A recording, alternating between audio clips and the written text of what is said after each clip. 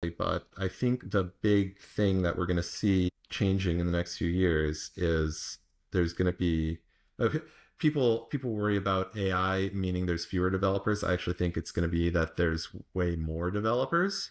Hmm. Um, you know, 10 times as many developers in the next few years as there have been in the past because AI assistants will allow so many more people to become developers. And what that means is that we will have people um, who are writing niche apps for niche use cases, often for themselves, using AI as an assistant. Maybe in some cases, people who don't even know how to code. But if they're building apps, I still count them as developers. I'm not going to gatekeep that. So uh, I, I, think there will be this transformation um, in software where like you see a lot of software today that is a, a platform that's designed to solve lots of general use cases. Think of Excel. Microsoft Excel, the spreadsheet. People use spreadsheets for all kinds of things, tracking finances to like doing calculations for, for to-do lists, you know. Hmm. and a spreadsheet can do all these things, but it's not great at doing any of these things. Like you can kind of with enough tedious work get it to do lots of different things. And and people do that because it's fairly easy to do even if you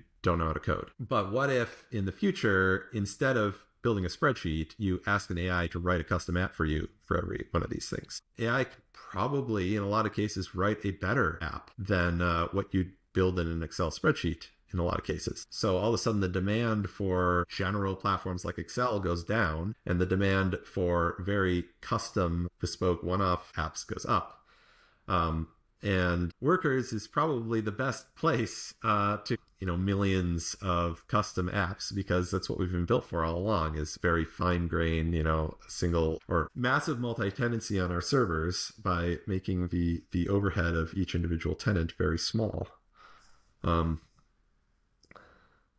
yeah it's software is going to be very different the next few years. It will be really interesting to to track and see, and it's also interesting to be honest, like seeing that something that was already there is actually almost built for something that wasn't there before. Yeah, it's funny how all of our design decisions, all the the vision over the past eight years has like come together to be like the thing we actually need right now. I I'm not sure if that's that's luck or foresight. Probably a lot of luck but uh, here we are, and uh, it's it's exciting. You you probably didn't expect that when you were.